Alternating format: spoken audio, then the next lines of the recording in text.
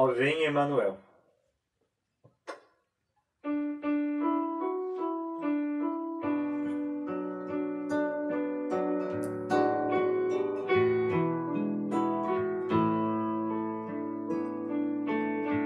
Ó vem, ó vem Emanuel.